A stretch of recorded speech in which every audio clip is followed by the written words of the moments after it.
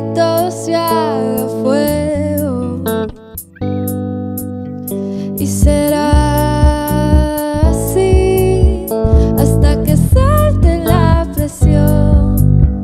Y cuando salte la presión te leo lo que te escribí.